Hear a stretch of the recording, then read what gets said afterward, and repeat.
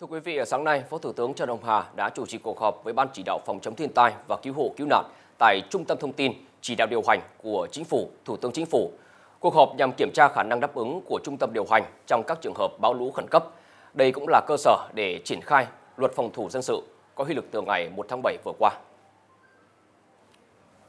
Trung tâm thông tin chỉ đạo điều hành của Chính phủ, Thủ tướng Chính phủ có khả năng sẵn sàng ngay sau 1,5 đến 2 tiếng kể từ khi có yêu cầu. Trung tâm có thể kết nối với các điểm cầu thường trực của Bộ Nông nghiệp và Phát triển Nông thôn, Bộ Tài nguyên và Môi trường, Trung tâm Khí tượng Thủy văn Quốc gia và Ủy ban Nhân dân cấp tỉnh, có thể kết nối đến cấp huyện tùy cấp độ thiên tai. Bên cạnh kết nối điểm cầu, trung tâm còn là nơi chia sẻ dữ liệu thủy lợi đến các địa phương, theo dõi camera trực tiếp tại một số điểm nóng như Thủy điện Hòa Bình, Thủy điện Thác Bà.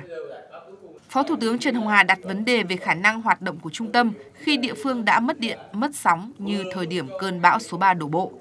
Các bộ ngành đề xuất có thể sử dụng phương án kết nối qua vệ tinh trong trường hợp khẩn cấp. Tuy nhiên, cần chú trọng cả việc liên lạc giữa chính phủ với cơ sở, chứ không chỉ giữa các cơ quan chính phủ với nhau. Vì vậy, để đảm bảo hiệu quả, Phó Thủ tướng yêu cầu các cơ quan tham mưu về phương án hạ ngầm các đường dây kết nối, giao VNPT và Viettel nghiên cứu đề xuất phương án cụ thể về công nghệ thông tin.